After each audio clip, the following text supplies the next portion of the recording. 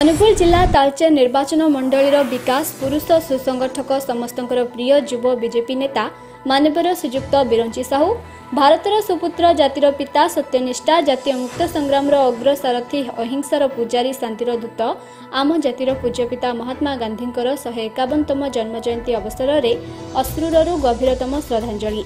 ମାନ୍ୟବର ବିରଞ୍ଚି ବାବୁ ପୁଷ୍ପମାଲ୍ୟ ଦେଇ ଏକ ମାର୍ଗଦର୍ଶକ ଦେଇଛନ୍ତି।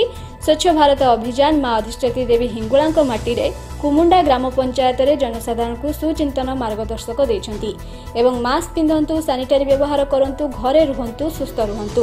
ମାଙ୍କ ନିକଟରେ ପ୍ରାର୍ଥନା କରୁଅଛି ମୋ ନିର୍ବାଚନ ମଣ୍ଡଳୀ ମୋ ପାଇଁ ମୂଲ୍ୟବାନ। କଣିହାରୁ ବିଶ୍ୱଜିତ ଭୂତିଆଙ୍କ ରିପୋର୍ଟ କଳିଙ୍ଗ ସମାଚାର।